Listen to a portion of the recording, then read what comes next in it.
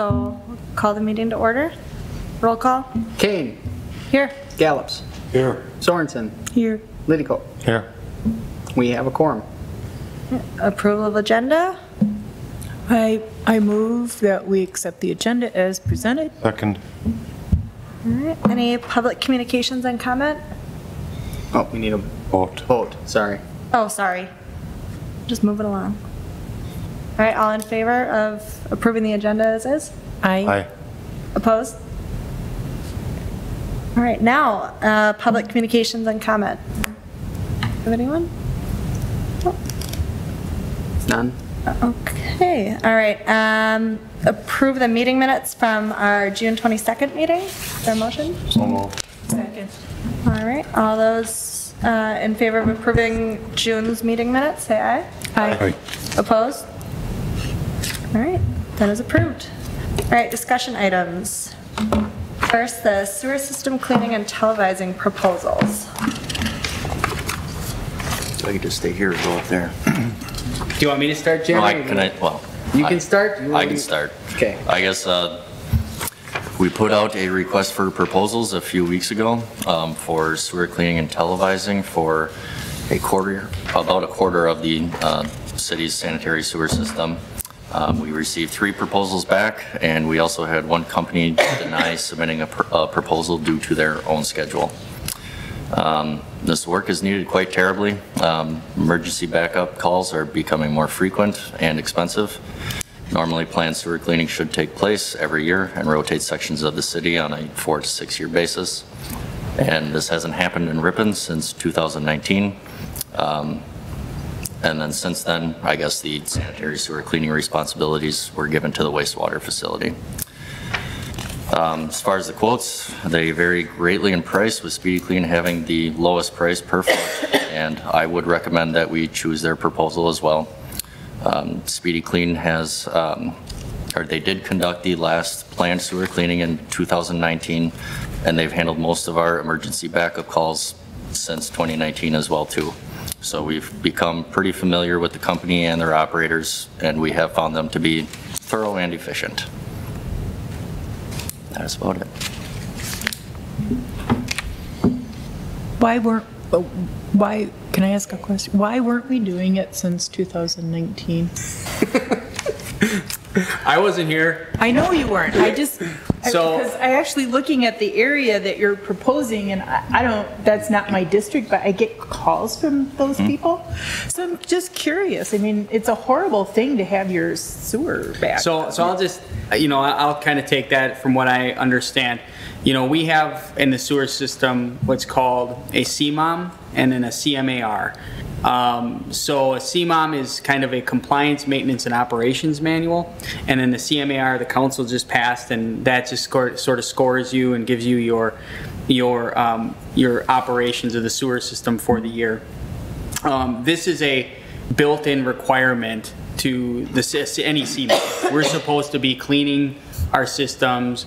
Um, the city does not have capabilities of televising. That is something that we added to the proposal, a clean and televised. So the televising component of this, in speaking with Jeremy, um, in, in his conversations with DNR staff members, you know, there was a time where the city did do cleaning.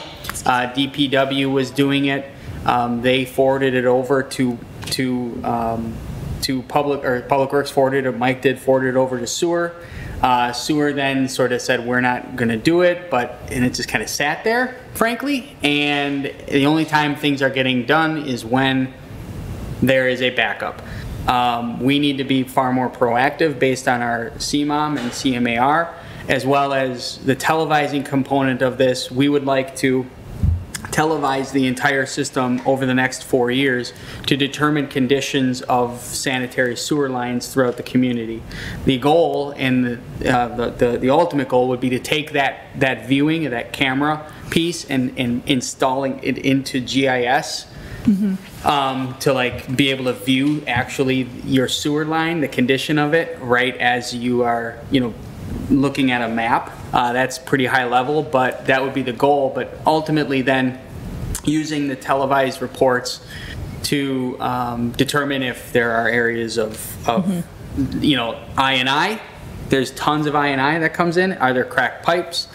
Um, eh, you know, uh, areas where there are dips, areas where the clay tile is broken, uh, roots, all of that stuff. We need to know uh, what the condition of our, our sanitary sewer is. So the televising component of this was really where I stepped in and said, Jeremy, yeah, we can clean, but we also need to televise, and that's something we're not capable of doing. Um, but yes, I mean, you can speak more, Mike and Jeremy, about what happened, but it's kind of water off, water down the drain at this point. Yeah. I don't think that, and Chris, you would know a little more of the history, um, even before me, I don't think that we really made our way around the city as we should. Would you say that? did it a couple years when I first started here, and pretty much you rush and try to get a double bid and stuff. But I don't think we, Never, There was also, I guess, planned cleanings well, prior to that. The last one was in 2019, I guess, um, and data going back from there, but So, so the overall system, we need to do a better job. but this speaks to our overall infrastructure and in catching up. We're catching up with all infrastructure. Catching up, um, types of equipment, um, just dated, um, very difficult. Um, You know, quite honestly, when uh, Travis Staub left, that sewer portion budget was under Travis Drake.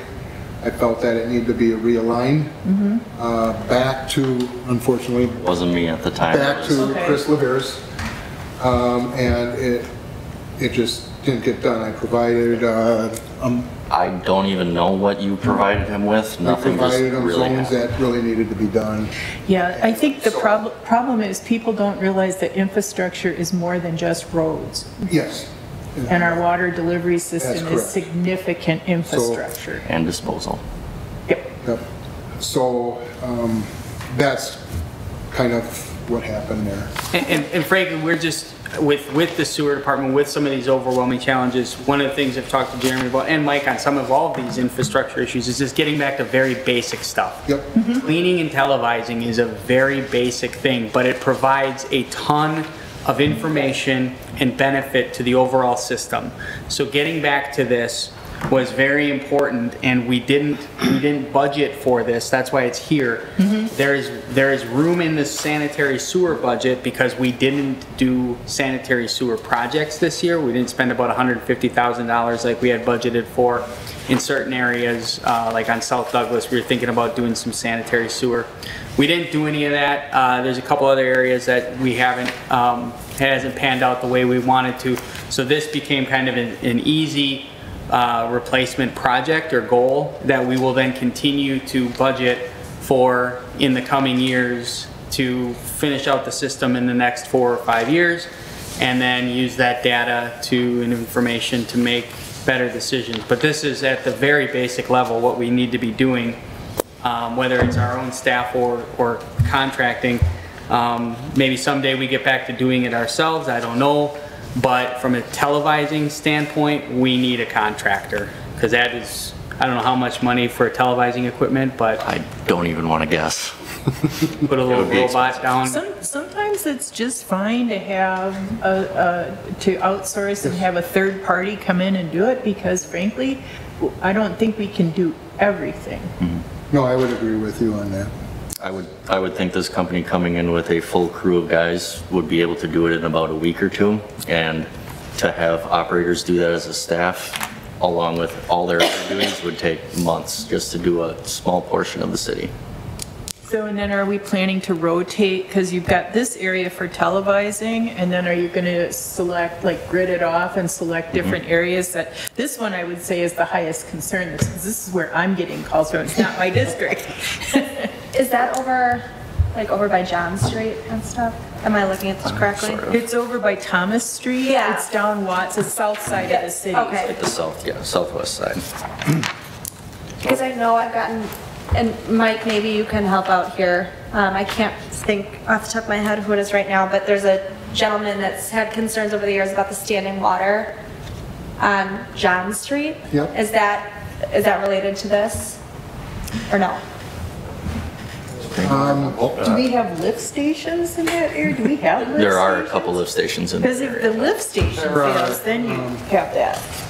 I've looked at that particular area in the last year or so, and have Okay. not seen uh, that issue like it's been in the past. Okay, I haven't heard anything. I don't know if that's related to the work I did on the Sandmar Okay, ditch line. But I can tell you that the water gets out there faster, out of there faster, Okay. which reduces that water table. okay, I don't know if it extends way over into John and Carroll. okay. I, I can't see under that, Right. but I've noticed a reduction in there. I don't know if it's because things are drier. Um, And I know in the John Street, from what I know, is we did um, some coating, epoxy coating inside uh, those um, drains, sewer drains and things there. That's kind of where their water was going, the I and I into there, so that's maybe why it's not able to get out now and it's Okay. sitting at their house. Okay. I guess that water shouldn't be going into the sewer You're anyway. right, it shouldn't be. So it, uh, doing this encapsulating uh, and stopping the INI is gonna affect, it affects something else. Okay. So, we have, Adam and I have talked about that area. too. Okay. Yep. So has Speedy done a field inspection? Excuse me, what was that? Has they done a field inspection? You know what they might be dealing with?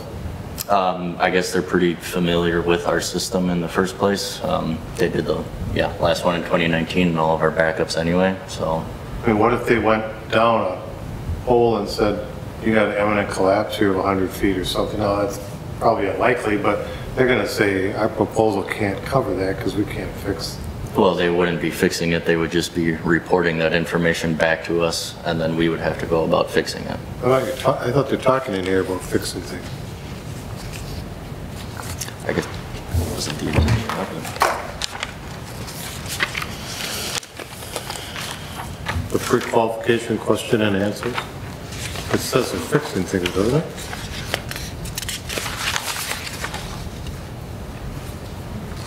Long cutter truck cuts things away. See, uh, PP trucks to repair. I guess, I think that's just listing the equipment that they have. We weren't intending on them performing repairs after the cleaning in the first place. or I Unless they guess break right away, Unless it's, unless we need to. Okay, so we do the repair Either that or it'd be a separate, um, yeah. So generally how it works is they'll, they'll, you know, they'll go through, they'll do everything, and they'll, they'll have a person in a little trailer with a camera. After they clean everything, make sure it's all nice and ready to go, they'll send a camera down there, and they'll, they'll literally, uh, from a footage standpoint, start, okay, we're starting here, they ping it, and they go and if all of a sudden there's a collapse, or there's a root or something, they'll, they'll take a video of it quick, they'll ping it, and they'll mark it down, and then they'll keep going. And as they keep going, they'll, everything they see, if they see a lateral, they'll say lateral this way, you know, and then you, you basically get a report that says, you know, at 100 feet on this line, you have a collapse. Or, you know, what, whatever, everything gets documented condition, all of it. Um, you'll be able to see areas where there may be backups or grease or, or air problem areas where there are dips that they say, well, now all of a sudden we need to, you should probably be cleaning that every year or it needs to be replaced. Um, the goal is to just, you know, use that information then and see where there are big sections or areas that need complete reconstructions done. Uh, but yeah, we fully intend to probably find some collapses in, in this, um, process, um, throughout the system because a lot of the stuff is all old. Um, so, uh, and then we, it's our job to take that information and find projects and fix them. I haven't thought too much about that. So what do you, what do you, what do we do here? We, we would just be looking for a recommendation to the common council uh, to pick a proposal and, and have it approved to get this done this year. Okay, so you're, that's what you're asking for? Yep. And the staff proposal is the speedy clean? Mm -hmm Recommendation. Yeah, the other two proposals, one was a hundred and some thousand and the other one probably was a company from just taking a flyer on it, trying to get rich at 238 grand. I think that oh. was- It did get posted in, I guess, various websites that do advertise proposals as well too, so that's where the one company must have picked it up. They're going to do 56,000 feet. roughly, yeah. So About how many linear feet do we have in this city? We have 40.8 miles, so whatever that math is. So percentage-wise, It's rough it's about a quarter. It's about a quarter. Yep. So we're going to do this this year, and every year you're going to budget from now on, and we're going to do four, and then do we have, the fifth year, do we come back and redo this? That would be the intention. Um, We may decide not to televise it um, because it's been free, or I guess, done recently. Um, So then I guess that cleaning would be cheaper if we're not televising as well. too. Right. The, Um, the, the general my- schedule, I think, just talking to Jeremy, would be tel, we need to televise, because we haven't televised for a long time. Right. A lot of areas. But once you got the four Once you get that, yep, four years. in. Year five, we'll be back to zone one, we'll just do cleaning. And then year eight or nine, we'll probably be back to televising again, because, just to see if there's any worse areas or anything like that. So every cycle, that's the practice that should be sort of followed, is every other. Because you can kind of pick and choose too. I mean, if you got some weak areas, you'll know you might want to televise it within four years. Right. So the other thing, you're going to get all this information, right? You will have, will own Yes. all the video. Okay. Yep, they will send us a flash drive with all the video and then also a full report that kind of, it shows each pipe or each section of pipe and then also where like the, I guess, faults in the pipe might be. Okay. It's a pretty detailed report that we'll end up with. And Adam, just question, you had mentioned about GIS. Is this something that can be imported into our GIS system? Um, So we'll be able, the, the video and That would like be that? the ultimate goal. It gets a little hard just because of the data or the amount of, of Space. information and space. You're, you're, you know, you're putting a lot of information out there then. Um, but ultimately, that is, that is the, from a staff perspective, you know, that is awesome because you can, if you, Yeah. if you can go back and say, yep, at this time we recorded this and this is the condition of the pipe, that, that's awesome. I mean, that's useful.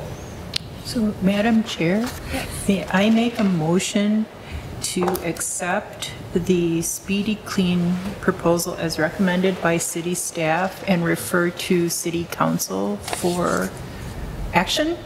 Absolutely. Is there a second? Dokey. Second. All right, any further discussion? All right, all those in favor of approving this to move on to common council? Aye. Aye. Opposed? All right, Thank you. Thank you. Thank you. Sounds like an exciting video. Put it on Yeah, GIS. They're pretty cool. This will be the TikTok video. Once Yeah. you've seen, once you've seen one, you've seen them all. All right, uh, on to garbage routing and collection on private property. So I kind of been talking about the routing of the garbage truck and and standardizing that process. um, Because what we found was each driver kind of had its own little tweak on where the truck went, when it went, and how it went. So I think standardizing, getting a baseline on um, how we want it routed, also looking for any uh, safety concerns throughout the process, and doing the best we can to eliminate those. So um, I tasked that with Chris here, Newens, our supervisor. Um, And the reason I did that is he was ops manager for Advanced Disposal for 21 years. So we're going to utilize his expertise, um, if he can remember it. Um, And he's going to talk about that a little bit and uh, what we found and how we implemented uh, uh, the five-day uh, Is that where we just turn right all the time? I don't even have to explain it. See, I listen in meetings. I'm. No, that, that is the experience from where I was before on safety. Safety was the biggest thing they had there, so you got stuff thrown down to you all the time. Uh, Where to be safe, out to be safe. So yes, I did take and do most right-hand turns on all the routes that we had, routed them, had the guys look at them. Uh, The one on the garbage right now is running them the way the maps are. and I have another one training on it, so.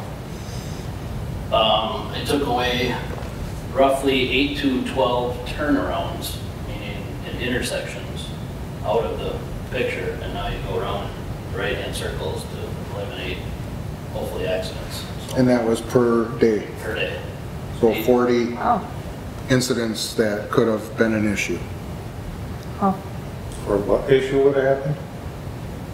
Turning around the intersection with a big garbage truck, Oh. that's, that's how they used to do it. Now I got them going around in circles to eliminate that. So this is just an operational report, right? This Is is. it- Yeah, there's one thing toward the end here we'll talk about, yeah. that, that's cool. we don't need a So- motion to turn right. Don't get me So, wrong you're gonna turn left. So when it's right there, it's gonna left, hey Chrissy, turn left. We control everything. the other thing that came out of this, Chris brought to me that, you know, um, when Waste Management, or GFL, the- these, these companies come in, you don't mean to eliminate you here.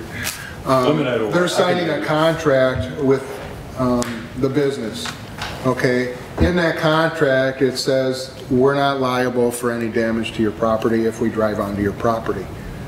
I think it was a good point, I brought it to Adam. I said, uh, you know, this is something we need to look at to protect the city, because we are entering um, private areas, and the truck is now bigger, it's heavier, has more wheels, um, and these driveways, these parking lots are not four inches thick in asphalt. There's something around two. So we brought it to Adam, and he's gonna speak on um, where it went from there. Yeah, so, um, so it's been kind of a three-pronged approach here. There's been a couple things, you know, obviously the routing, uh, just for efficiency, from a safety perspective, um, the routing has helped. Uh, and then it all kind of came to a head a few weeks back where our garbage truck was hit doing an unsafe move on the state highway, trying to get into private property, basically backing into private property on a state highway. And, um, and it just all kind of became very clear that, that this is not what we should be doing. So, um, so I brought, Mike brought forward this idea of, of we're, we're entering, you know, private property and the liability too, not just the safety, but the liability. So, um, we talked over it a few more times. Um, I brought it forward to Attorney Wertz and he drafted an indemnification agreement in your packet.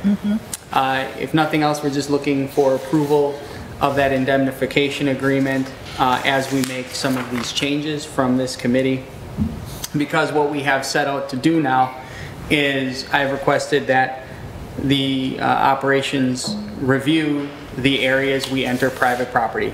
That number to begin with was 85 areas that we enter private property to collect garbage. We are looking at that and saying, of those areas, which ones can we avoid going onto private property? So phase one of this is identifying the number, identifying which we do not need to enter, sending them then a letter stating, please move your can to the curbside for collection days. Now, some of these areas are businesses, they have 350 galloners. We can't just tell somebody, you know, move it to the curb.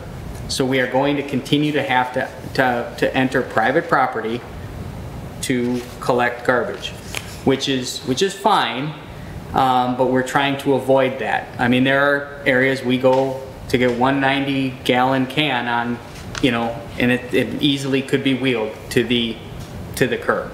So, uh, we've gone through some of this process already, um, but the goal is to then minimize the number of private property entrances and send this agreement to every one of those and have them sign it to indemnify the city or hold us harmless from any private property damage when we're collecting garbage on their property. The alternative is they move it, to- if they say no, they can move it to the curbside or they can select other garbage service. But this will get to that point where um, we simply cannot be taking this vehicle um, or any vehicle of this nature on private property with that liability because there are pavement concerns, there's we, safety concerns, so on and so forth. Um, so The driver wasn't hurt when the truck Neither. was hit? No. Nobody wants to Okay, good. So that is why it's in front of you. It's kind of a three-pronged approach in terms of efficiency, liability, and safety. Uh, so we're just asking that the, you know, hold harmless agreement at least be approved and then we'll unroll or, um, un, kind of unpack this over time here. Uh, we don't want to just send out Massive. massive, you know, 80 people here, change how you're doing this because we don't want to deal with 80 phone calls, but um, we do need some buy-in or, or some guidance as well because uh, this is going to be a change for some people, um, not meant to be anything other than address the three concerns that um, I mentioned previously, efficiency, safety, and liability. I would so move the hold harmless indemnification agreement. Second. You two are doing it all tonight. All those in favor? Aye. Opposed? All right. Are we okay at the bank? I think yours is, you have a 90. I think we're going to propose a move to the curb. Yeah, I mean, that's fine, just gotta figure something out, because in the winter, I mean, you know, summertime, big Yep, deal. and, and we're, we need to work with, uh, whoever it is, uh, to make sure it's right today. For example, um, I'm not sure we need a 90 though, I I gotta find that out. For example, today, um, and I didn't know this, is we drive uh, the garbage truck, um, on a one-way down Blossom. So we'll go down the hill from Ransom to Blossom, um, which we didn't, I didn't know. Um, so we worked with the individual in, I think, 309 Ransom, uh, to just put it across the street, and that's where they put the recycling anyways. So, um, now we'll be going correct on that one way. Uh, You know, some simple things like that. Um, So, um, and, and it seems simple, um, but you kind of got to look at all the processes and where we're going, and you know, we find stuff sometimes. That's a small street for that big truck. Holy smokes. I've made people, when I'm going up to Ransom, I've made people who are coming down. Back up. Back up. And it's signed. It is signed. Yeah. It is signed, because I drive up to the top and I'm like, where's the sign? And it- It's there. So we'll keep adjusting that and work with the people on uh, what we need to do to work through this process.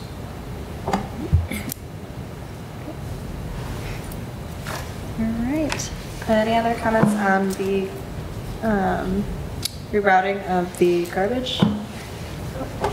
Okay, moving on to the garbage truck project. Um, hold on one second. What is going on here? I have lost control.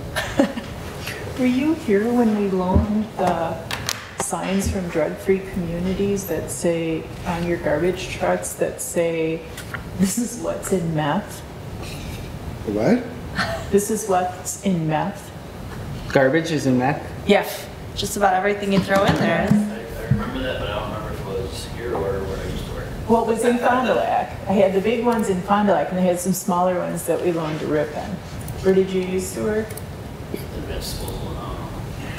It's uh, a different county, so I don't, I don't know, but people, No, it it was pretty eye-catching. They're big magnet things that you just stick on the side of the, Oh, why isn't this working? I could find them. Would you do it again on one of your garbage trucks? We're, we're, Well, okay. we're looking for something to go on this. Well, this is pretty. It's more positive, I think. Oh, yeah. Yeah.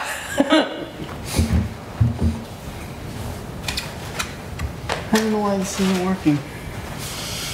User error. Yeah, there's something going on here. I don't know why. Uh, so in your packet, you did have a, um, uh, kind of a small example of the, um, the garbage truck. Um, there's a space on the side, and, and then there's two examples. I was gonna kind of show more examples. Um, Mike and I, when we first got the, um, garbage truck, they had a little contest and talked about naming it, and, and it's been since named. Um, but then every time it's just drives by, it seems like it's not complete quite yet, like it's just a big red truck. and very that's that, you know, the side. And then actually Jeff um, had called and we were talking and, and he had just mentioned kind of briefly about an idea he had at one point about putting, uh, you know, a logo or something on the side of a, a garbage truck. Um, so basically, what we have is, we had, many months ago, um, gone to, um, Blue Designs as well as Graphic Signs to, to get an idea of, you know, what it would cost to wrap the truck, and it was under two thousand dollars, anywhere from, you know, fifteen hundred to eighteen hundred all in to wrap the truck with something, um, branded or something unique. Um, just kind of getting a feel for if this is something you want us to continue to pursue. Um, if you would like us to work with both or one, come up with designs, have a vote, um, or bring it back to the committee with choices, or what do you want to do with it? Because um, there's, it can literally be anything. Um, it, it, it just, it literally can become most anything, like on the side of it. They can do, doesn't have to be, they can do wild things. I mean, they just crazy. anything they can do want. Mm-hmm. anything on the side of it. So, um, we were just thinking about how that works and if it's, if it's worth pursuing. It might be interesting to have a contest. Yeah. A citywide contest. Yes. Get people engaged in it. Because they were very engaged in the, uh, the naming of the vessel. I'm disappointed mine didn't get any vote. What? The truck. Oh, We named it Bart. you don't spell that out though. It's an, ac- It's abbreviated. Okay. an accurately named. Yes, thank you.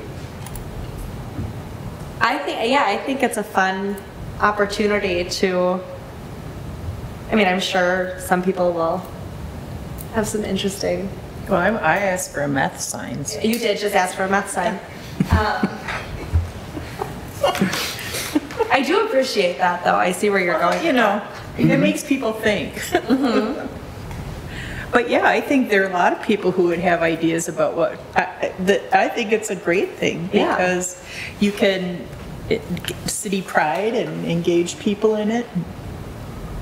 Have a contest and pick four winners and then Yeah, let submit people designs vote and then or have a vote. Yeah. Democracy. Yeah. It's an election season this fall. Why is They did have fun with the naming of the truck. Yeah. Just think of the fun they'd have with the, Oh uh, my gosh. the graphics on it. Adam's got it. ATVs and chickens. Yeah, I think, I think it would be a really fun idea. I think it would be, um, you know, a great way to, you know, even like Girl Scout groups or whatever, you know? Yeah. And it's a very unique opportunity. It's not often in life you get an opportunity. A new to garbage design- To design a garbage truck. Put it on the website. Kind of ideas you get. Okay, so we will do a garbage truck, either picture or design contest to see how we wrap it. Mm-hmm. Pitch your trash ideas. Okay. You could form a subcommittee. Winning design can get a new garbage can. We'll spray paint it gold. I can, we, we just, we wanted to see if there's something everybody's interested in and it's gonna have, uh, you know, it'll be two thousand bucks by the time it's all said and done, I bet, but, um, Supporting local business. But yeah, I mean, we just, um, we'll price it out once we get a design done and, um, see if anybody's got a cool picture or idea that we can, you know, we engage the public with and have them submit something. And I know, yeah, we've done similar things with, the the PD has done some similar stuff. So, um, we'll do that and then we maybe bring a couple of them to a, a vote and see what the people want. Okay, well, we'll proceed with that and try to do something fun for once. No, televising the water things is pretty fun. televising sewers is really fun. All right. I'll share the video. Any other comments on the design project? Don't need a motion or anything. No. All right, facility master planning update. I, I can't show you the picture, so um, I we- I can come back to that later if you'd like, if I can get this to work. Okay. But it's been moving forward. um, um, So SEH has been meeting about bi-weekly with staff and and has been, have been going over plans and whatnot. um, And um, um, we hope to have things sort of wrapped up here in the coming weeks uh, for presentation to the council uh, on this facility and then Public Works. Um, I'll show you a picture if I get it loaded here later. All right. Utility pole ordinance. This is Jeff's. I'm wait- I'm waiting for that uh, chainsaw and out there to start knocking these things out. You tailgate for it, just sit out there. I chained my truck to. Uh, so, based on previous conversations, uh, we had talked about, um, a few times since, in the last year or so, about the, the double utility poles and things not being taken down. So I, I asked uh, Attorney Wertz to look into what could, could be done, uh, in, in ordinance to compel the removal of utility poles and when they're abandoned or no longer necessary. Um, so we actually do have a ordinance existing regarding uh, poles and wire apparatuses, 15.32.050, uh, that that you know says you're not allowed to have these without resolution or consent from the Common Council. So what it doesn't say is section C, basically, that you know, after a utility has um, erected something or by resolution gotten permission to do so and has abandoned another improvement, they must take that down. So, um, so I think in a lot of cases, um, what has happened here is, there's probably not been proper authorization to begin with on this because there still has always been a requirement that either via resolution or an outstanding easement that a utility can use the right of way to construct or put up poles. Um, a lot of times, sometimes they just come into town and do it. We, we, I mean, I, I haven't been here since they've been done, but, you know, they just schedule it and it, they maybe get a right-of-way permit. They're not coming to the council, they're not coming with an easement. There may be an easement hanging out there from 50 years ago from the utility or something that says they have permission to do this, that they're using this under. But, um, we don't always know and, and, you know, if they have our consent or they have an easement, that's one thing, but without that, um, they, you know, we need to, A, first get them to do it, and then when they do that, get them to take down what they're not going to use anymore. So what this essentially does is by adding C, is if we go to a utility and say, we think that you own this pole, and they say, yeah, we do own it. Okay, well, where's your easement? Or where's your resolution stating you have authorization to be there? And they say, we don't have it. And we say, well, what are you using that pole for? And they say, nothing. Get it out, please. That's, that's how we would approach this now.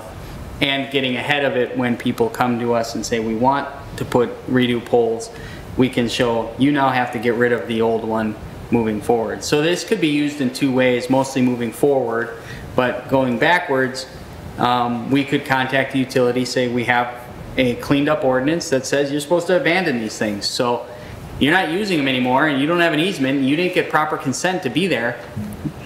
We expect you to get rid of these things. They may say, well, we don't own them, we don't want them, you know, but then we'll have to decide what happens, but um, it just is, I think, a way to address the concerns that were brought forward. It may not be the perfect way to do it, I don't know, but it's probably better than what was in place before. So that's sort of the summary of it.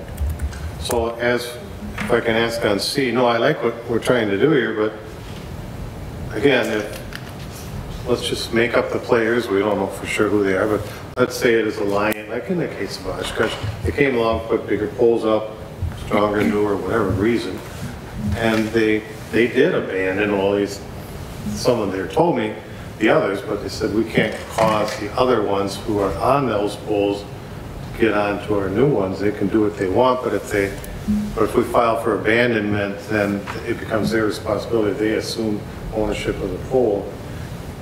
The question I guess I would have is,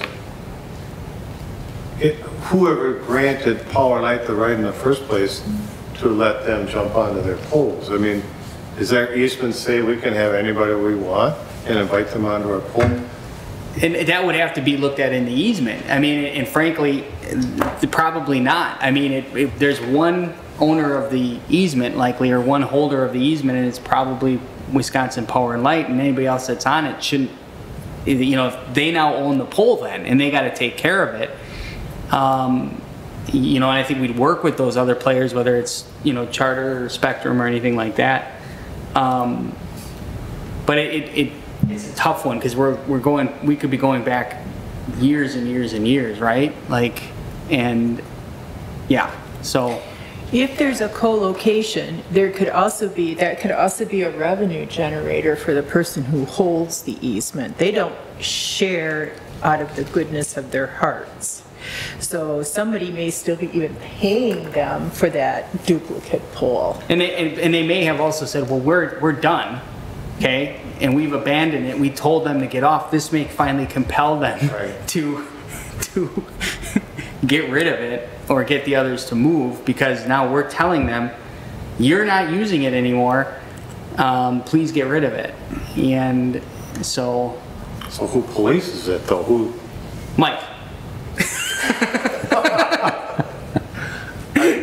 I mean, I- I, the whole issue in my mind is, if you did this all over the city, and that's just how it always is, we're gonna look like Gary, Indiana in the seventies, okay.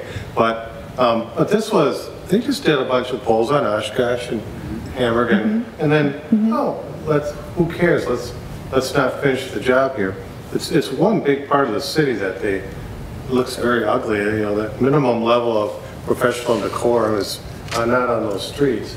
And I guess that's part of the thing, if you can do it pretty well in other places in town, why did you do it this way now? And, and I don't know what line, if they were sitting in the room right now, what they would say. They uh, said, we put up new poles, we can't handle, we can't control what the parasites are on the other poles, you know? Answer I probably got, if I remember correctly, is, I think it's CenturyLink that is on those pools. They'll move them when they feel like it. So it's not a high priority. So making it a high priority with this might move it down the road. Mm-hmm. I think it's something that, while we issued a right-of-way permit for them to work in the right-of-way, got it. maybe more questions should be asked of them of what we're doing. What are you doing in the right-of-way? You're putting in a new pole, what about the old pole? Um, So, you know, probably could be asking those questions. One problem when they put utility, electrical utility puts the new pole in. And then Spectrum stays on the old pole that's leaning like this. It's, according to this, they don't have to do a thing because it's still being used. There, there should be something in here stating that when a new pole is put up and it's a safety, the whole reason they did it was because for The pole is deteriorated. Yes, so if there's a new pole there, we should have an ordinance stating that when you put a new pole, that the utilities have to attach to it and remove the old pole within so much time, and then the problem goes away. Because right now, if you go to the electrical company, all they're gonna say is, Spectrum's still on the other pole, we can't move it. Mm-hmm. You're right. So until that's put in here, But it, but it, it may come down to easements and ownership at that point too. And if Could make it a Spectrum, if, issue. if Spectrum, but I don't, if Spectrum doesn't hold an easement and doesn't own, and now owns the pole, they don't have permission to be there.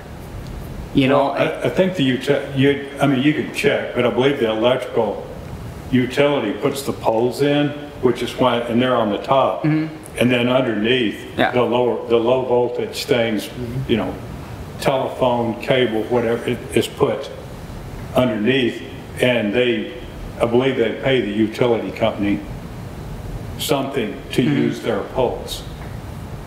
Well, So uh, they're not gonna move them until you tell them you, that pole needs to be abandoned for safety reasons. And, I mean, you're gonna have to threaten to fine them.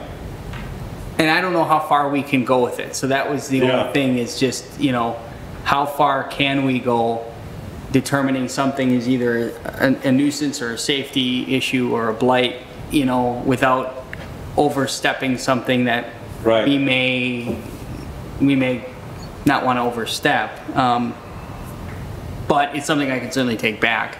We don't want the pole to fall down either, though. And the whole reason the, electrical utility put a new pole up is because that pole was not deemed safe enough to use. Yeah, and I, and the other thing I thought about, and not to get too far into the legal weeds, and that's Lud's job, but, you know, is there adverse possession here by the, those, by the, not Alliant, but the others who would say, well, we've been open and notoriously using this for 20 years, you can't pull us off the pole. But I think maybe you could, because you could say, but it was never your pole in the first place. It was always Alliant's. Alliance could file for adverse possession, but that might be very hard for them to do that if they say we put in a new pole for safety reasons. We left the old one there.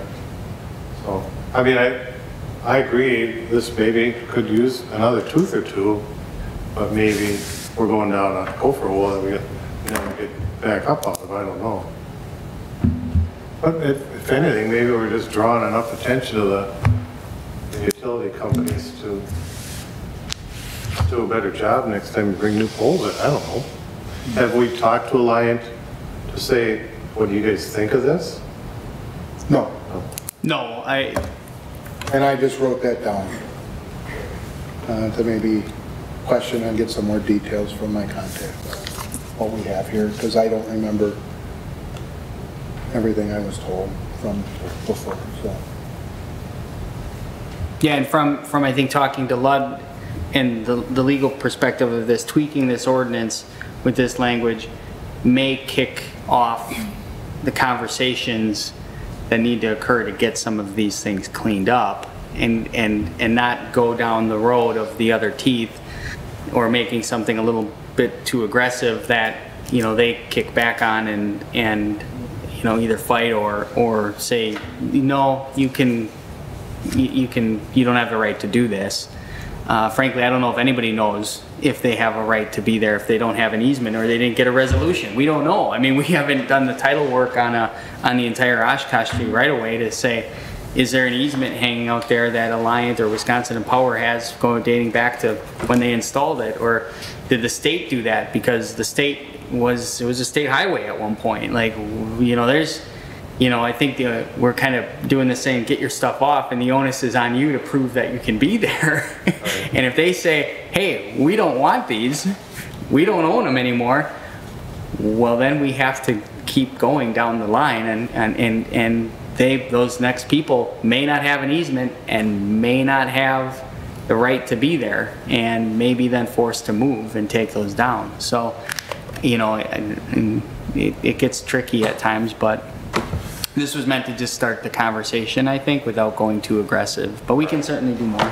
When, when I asked the question at Alliant a couple of years ago, they said that the poles, they were gonna file for abandonment merely because of what I suggested, now whatever they did it, whether they did it or not, I don't know. But you might ask them the question, did you abandon them? Okay. Because then the direction you go might be a little clearer.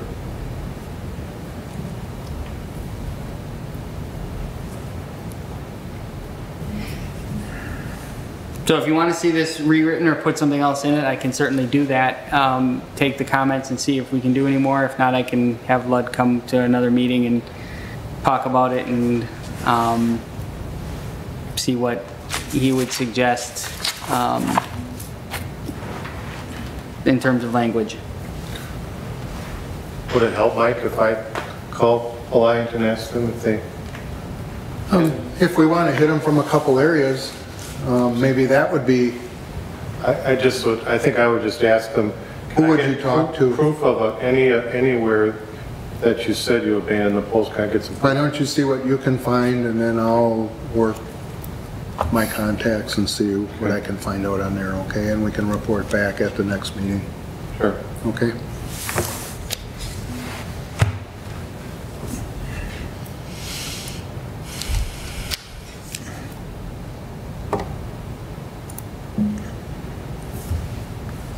All right, so, So we'll be back with that one. okay.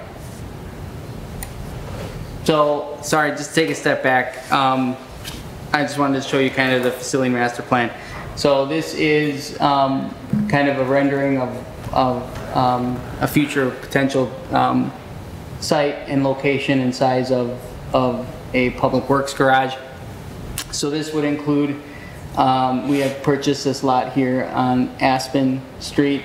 Um, uh, kind of a smaller office, 3,000 square feet, but that's way more than the, um, I don't know what Mike currently has, 900 square feet.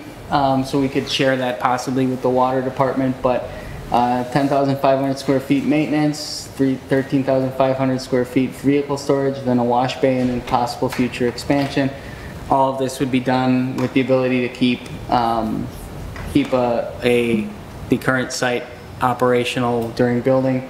Um, so I just wanted to show you this kind of progress we're making, or this is kind of the diagram or the ideas that have been kicked around. This is by no means formal or finalized. Um, I just wanted to kind of give you all an idea of, of what we're thinking. I certainly can share more information about specifics if you're really interested. But like I said, um, this is just more or less like the first time we're showing anything, um, but just showing that there has been a lot of progress in trying to figure out, um, you know, location, size, and scope of, of uh, any project that would occur.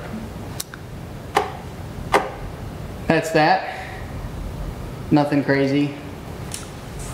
And then here we we'll do this right away too. Oops. This is difficult. I got two screens going. Oh, okay, we're just gonna stop. Because this is ridiculous. They're splitting screens on me. Then we have like, oh, you son of a. Okay, we're done. Sorry. Okay. It won't open. Should we move on? Yep, move on, sorry. 2023 capital improvement plan review? All right, so Mike and I talked today a little bit. Um, we wanted to kind of just talk about the, you know, things that we're including in the upcoming year's budget um, from capital improvement and then kind of some smaller equipment. Um, so I, I think sort of the, you look at the top, um, not necessarily within this um, committee, but we are looking at um, kind of finishing off the Murray Park Trail and paving it uh, finishing up that project in 2023. Um, We then have a plow truck that needs to be replaced. Um, Um, just real quick, it's a 1999 Adam, Okay, not a 98, so it just got a year newer. No, it's a 95. It's a 95? so it's just got older. It just got older, sorry. I thought you told me, okay. It's a 95. So we'd be looking at replacing the plow truck. Um, Mike and his team have talked about options there, but overall, that's about $175,000, probably more than that at this point spend. What's the timeline on a, that? I don't know the timeline. Um, If it's budgeted, um, we can start specking it out and see where they're at. Um, I don't even know what the number will be, to be honest with you. I just put a number out there based on our past number. And I, I didn't want to get the vendors all worked up. It could take some time. Yeah, because it's, there's a delay on these, Yeah. these things. Okay. So, and, and just to be clear, this is, these are like, we're probably over budget at this point with the overall spend, but these are the things we would like to prioritize and try to, to fit in.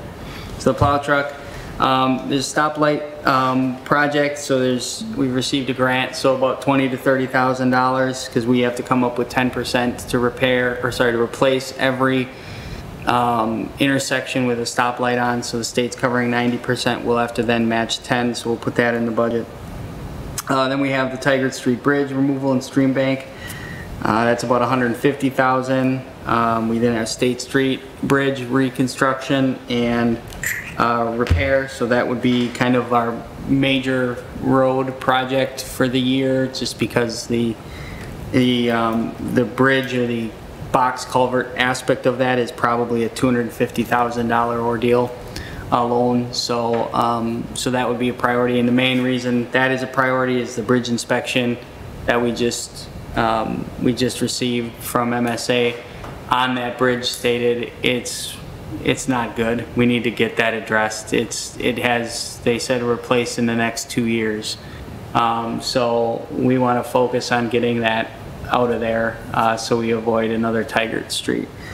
Um, and then Liberty Street project from Union up to Coombe, or- right, Combe, Coombe, whatever, Coombe. Um, we have on there, that would be another one. Um, frankly, that, that is just a drainage mess. It's a, a road shot and, um, we'd be talking probably more than hundred fifty thousand dollars. We'd be talking about potential special assessments for curb and gutter because that entire area up there is just, I mean, everybody staff-wise can probably attest the last year with some of the issues up there have been um, a significant problem. And um, the water's just not being managed and it's ruining private property right away and road. Um, So that would be a project that we would like to undertake. All of this doesn't matter if we did, say, for example, receive any other state or federal funding for a project, that would be prioritized for 2023. Um, So these are our main big projects. It's, it's probably, you know, at 920,000 is more than we have, but we will continue to push along and see what we can put in place. Um, We would love to also add a street sweeper. Um, That is a piece of equipment that is nearing or at end of life as well. Um, But that is a very costly piece of equipment. Um, We have asked for a BIL carbon reduction um, carbon reduction uh, grant to help with the street sweeper. So if we got it funded at 80-20 split, that would move up on the list as well. Uh, We'd be dumb not to do it if we got the money. Um, So we have that hanging out there. If all of a sudden we have extra funds, we would either put it into additional smaller road projects or try to replace more equipment for the year. Yes. This looks really good. I noticed under notes Yep. that you have some notations with regard to funding. Mm-hmm. When I've done these things, I always like to put in a column for funding, whether it's levy or grants or whatever, because not only does it help the elected officials speak to the issue, Mm-hmm. if anybody is willing to look at a capital improvement plan, they can see where they're planning, where Yep. we're planning to get the funding from. Could we do that? We have a more comprehensive capital improvement plan software that we use that, Okay. that has that feature in here. I just tried to water You just did a I just- spreadsheet. I Okay. took, I took that information, I put it into a spreadsheet, I just downloaded it specific to this, just to have, like, you know, and, and I tried to put notes there where we had funding or where we didn't, and, um, you know, your, your Tigard and your State Street are gonna be, those are gonna be general fund or borrow. Um, and then, um, everything else we should be able to fit in, um, from the budget or, or borrow. Um, obviously, there's other capital needs, um, so uh, we can do that more comprehensively in the, in, in the better software we use, but um, I just didn't get there with this one. We just wanted to get a list of the main things. And, and half this stuff, frankly, we're already halfway in. Like, we've, we've already approved, you know, inspections or we've already improved, you know, engineering. So, you know, we're just kind of continuing on with things that we're already doing. But we got to put money to deliver on the project eventually too, so that's why it's sort of here. Um, Can I ask about Yep. that Coombe, Yep. Coombe and Liberty? obviously, I can imagine all the things that could be going wrong up there. What are you doing with the section where Dartford and West, well, West meets up with Dartford and that, what, 6,800 feet to Liberty? That's gotta be a huge, a lot of the drainage problem, it's gotta be going down that way. I don't know what we were gonna do with that. We, yeah, we didn't define the scope of the area yet, but we would probably go up Dartford toward west, because there's a, we'd probably do some changes up there too, because there's like a, there's that catch I guess basin. we talked about- Yeah, we did talk about that. Going to west, but we didn't talk about going past west up to the mouse. Um, But we talked about doing some sort of uh, ditch line or drainage um, in that big hill there because that washes out whenever there's a, a drop of rain. And then we put, have to go up there with the loader and put it back into the ditch. Um, So, but we weren't gonna go past West Street, I don't believe. So how we connect that together, I don't know, Jeff. Um, But we were, I guess, state our vision was to go and connect from Liberty to Coombe, all the way up to where the curb starts, I believe. And then as we turn left there, is probably go to that corner on West, and then get our water entered into the system on that major hill at this point. And, and I understand finite dollars, you can't do everything, but wouldn't you wanna get up to where the grade is level?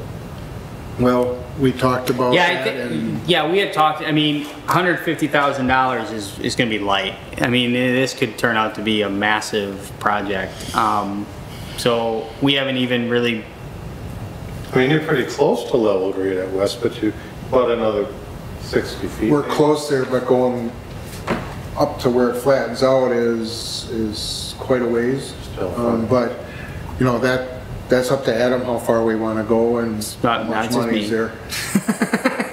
You're welcome. yeah.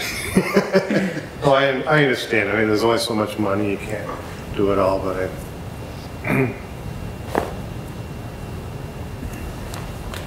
It's a, it's a tough one. It really is, because we could go all the way up to the mouse and, and probably add curb gutter, uh, underground and, and, you know, um, but the most damage we're seeing right now is on that corner there. And a lot of that water is coming from Coombe and, and just, it's uncontrolled and it's just, it's a disaster. sure. I mean, so, And I think our engineers will be able to answer that probably better as they start to look at that area up there on where do we go, how far do we go, what, what happens when we stop, um, where does the water go from there, you know? Um, I, I, I can't really, without I understand. Analyzing that, answer that. So, I mean, that could blow up to be a million dollar project pretty quick, frankly. I mean, it could, it just, um, maybe not that much, but, um, we want to at least try to get some attention up there one way or the other, um, in that area. And when we're doing state street, it sort of makes sense to try to lump in some more. Um, you can then see some smaller equipment capital projects, things that Mike and his team have put together. I don't know, Mike, if you want to talk to any of those. I do, actually, um, so, you know, I, I- guys came, I asked them, asked the crew, you know, what can help us better, and, um, uh, right now, uh, you know, skid steer breaker, um, for breaking up, uh, and doing a lot of the catch basins and manholes would be beneficial. Um, one of our mowers, our zero-turn mowers in the parks is a 2007 somewhere's in there, that's gonna be, needing to be turned over. Um, a boom for the sidewalk tracker, tractor, um, some safety stuff, uh, some low-profile hydraulic jacks. Ditching bucket, um, they've been asking for that. Uh, plow blade is pretty well shot on our snow, um, equipment there, the leases you've seen. Um, one thing that I, I talked to Adam about is I did a assessment of, um, from Union Street west on the highway, um, 23. I came up with a couple hundred thousand dollars needed in repairs. Um, so I asked him, uh, for five years of $40,000 every year. If we don't do that, we're gonna end up like East Fond du Lac in five years. So we need to um, start to fix this cement where the heaving is um, and start patching that in, okay? Otherwise, and that's not slated to be rebuilt before 2030. Okay? So we need to stick money into that. We get 70-some thousand dollars from um, Connecting Highway that we need to get into there. Last year, we expanded our sidewalk maintenance program, doubled it, um, to try to get around. Um, And contract asphalt paving, we need to, uh, we're using, this is where we're using the county, come in and pave um, patches within the city that are are failing. Um, They do a great job.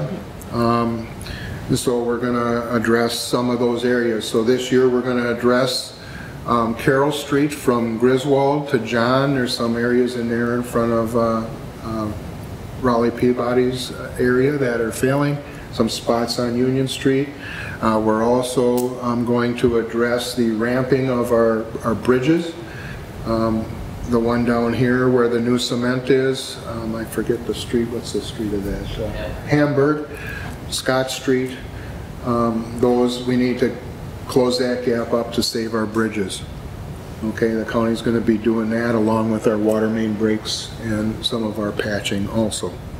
Another one to add to that list before they Huh? I got another one to add to that Oh, list before they this. come, just, And then Adam and I talked the first part of the year about our, our crack sealing program, or- or our uh, chip sealing program.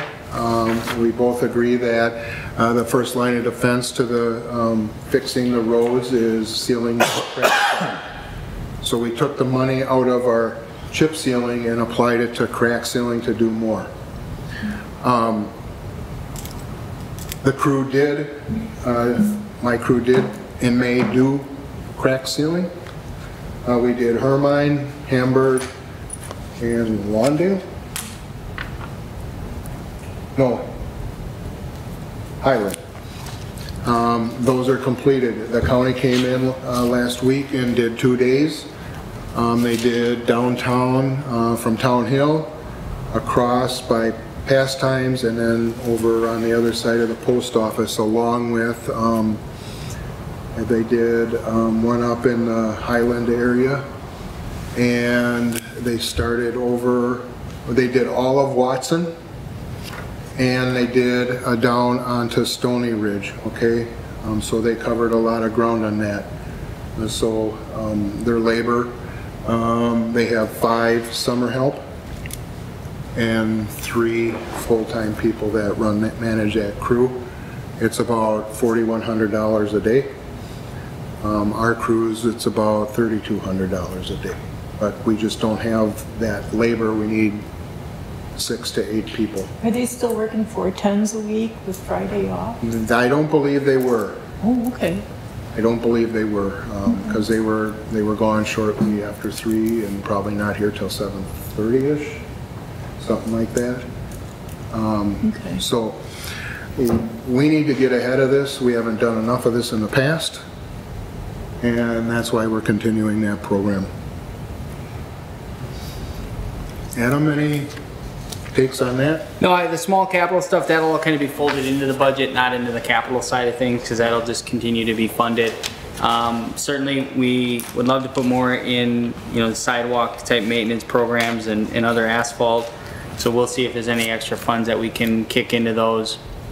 Uh, But overall, um, from a, from a pavement maintenance standpoint, um, you know, we're, we're, we're trying to, um, you know, maximize that relationship with the county to do a little bit more for us at a, at a pretty decent cost and then free up, uh, staff to continue to work on other things. Um, because we were doing around thirty-five thousand a year in chip seals.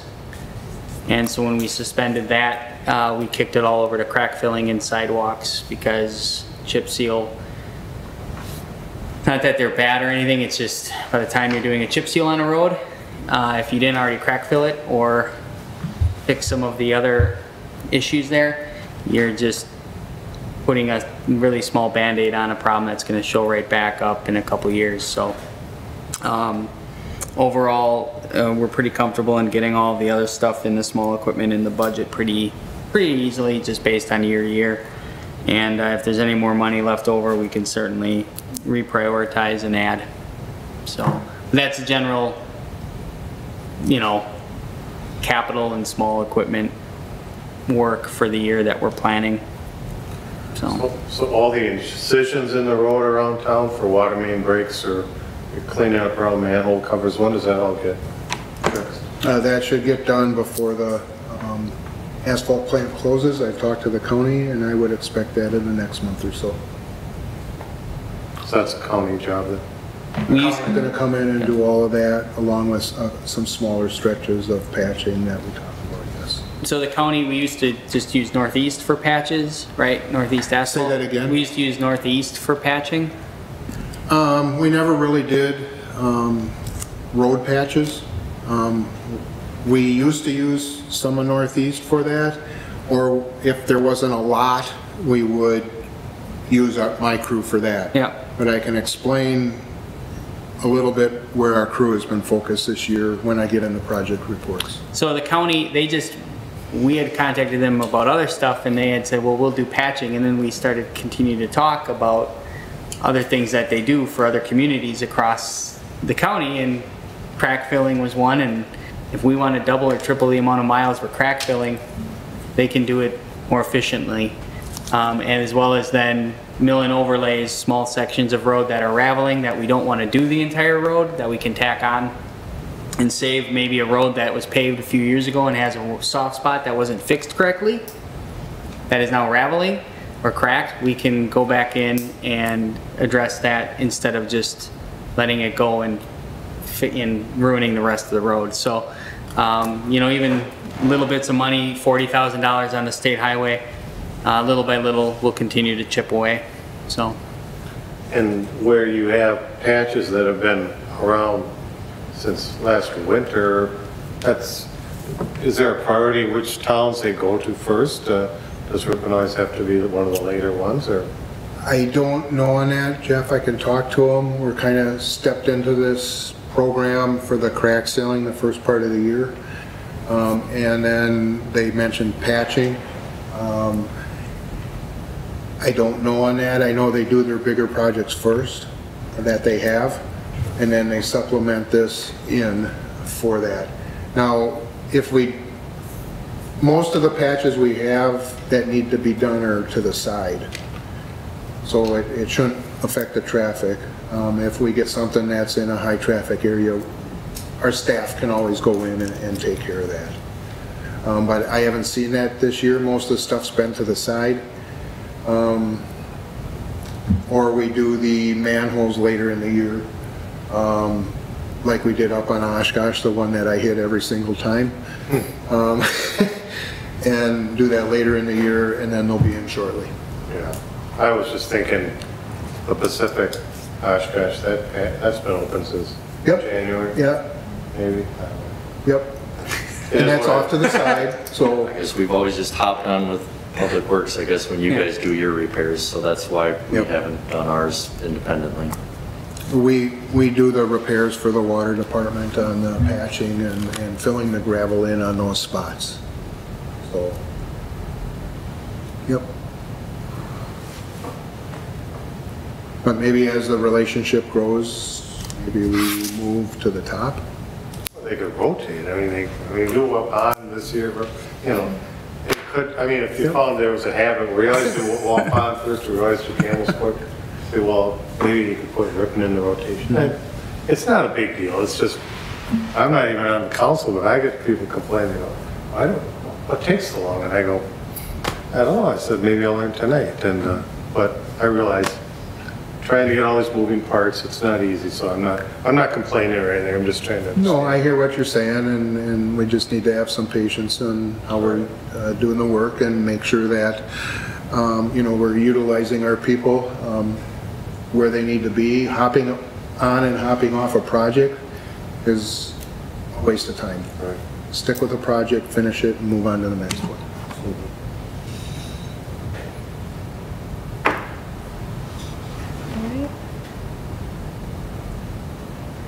Any other updates or reports? Sure, a couple Alright. things. If you remember, we had some capital um, money to upgrade uh, City Hall from heating um, and air conditioning standpoint.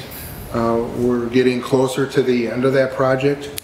Um, They've run the wire, they did some, did a lot of that stuff now. We're starting to see thermostats get in that actually have a, uh, a little button on that you can turn compared to Adams that somebody took off and he couldn't touch it. It's been 74 in my office for Uh, So we are Decade. San Diego, it's always the same temperature.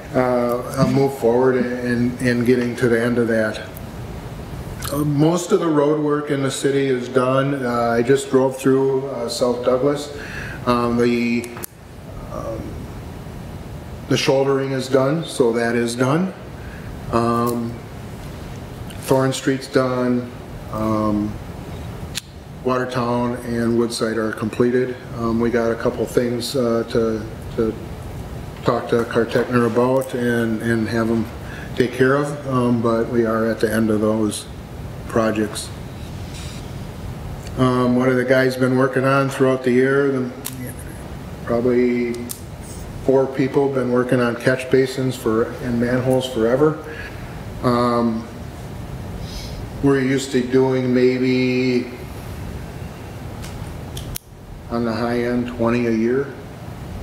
Uh, They're up to 54. So our roads are uh, starting, and our infrastructure underneath are starting to fail. Um, So why are we able to do um, so many? Um, I think there's been a lot of improvements, and Chris can speak to this. Um, First of all, uh, you know, our staff, uh, we're happy with our staff. They're doing a great job. Um, The mini excavator has been uh, the, I've been told that's the best thing I've ever bought. Um, They can walk around it, they can get it done, uh, and get that out of their, the process. Um, We implemented some new uh, materials uh, that are lightweight, they're plastic, they glue together. Um, So you're able to create a base, um, and you're able to stack these up with caulking tubes, uh, not with the tubes themselves, but what's inside the tubes. Uh, Stack them up, level where they need to be, and you're able to backfill the same day. Um, You could even possibly pave the same day. So uh, they're faster, they're more efficient, and, and things are a lot better um, in handling. They're safer also, they can lift them with basically one hand um, compared to where before we would have to uh, use hoisting material um, and things to get all these rings and, and uh, catch basin things in place. And we still have to do some of that, um, but this reduces the risk to uh, safety of our employees. Jeremy? I guess I have a meeting tomorrow at mid-afternoon with SEH to discuss a number of things. Um, uh, Number one, I guess, is a piloting well, possibly for next year or the year after. It kind of depends on their scheduling. Um, They have one guy who kind of goes around in a trailer and is able to, I guess, test pilot wells. Um, And then I'll also be talking about corrosion control treatment. Um, I kind of was hoping for an update I guess, on the submission to the DNR, if they had heard anything back on that yet. And then revising our proposal for, or proposal scope of services for um, SCADA and software upgrades. So I'll know more tomorrow, and those will likely be capital improvement uh, items as well, too.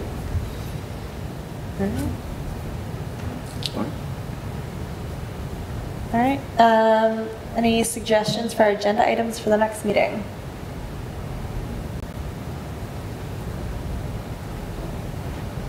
If I could just add, the recycling yard looks, continues to look very organized, well kept, I mean, nice job. I think it's always looked good, but I think it just even looks better. Oh, the better. compost site? Or the compost. Compost site, yeah. Uh, You know, Chris took that over in 2018, 17. Um, And they've made significant progress out there um, on where we're at and how we're managing that. So, um, yeah, they've done a great job and we're offloading a lot of the compost material um, on time. And we're recording the stuff we're supposed to for the DNR. Well, a big thank you to the staff. Um, They've been working very hard They all have. summer, they're everywhere. Um, I'm trying, to- I'm like, how many people work here? Um, But they've been, they've been working hard and they're friendly, they wave. My kids appreciate that, so. um, And I know you guys got a shout out from, was it EAA? Somebody specifically commented on our infrastructure, so, I talked to them about that, and I always bring that forward and make sure they get their kudos. yeah. Um, So that was very nice and unexpected. Yeah, so, um, all right. And next meeting will be set at some We'll point? see. Huh? We'll see. Okay. All right, is there a motion to adjourn? So moved. Second. All right, we are adjourned. Thank you.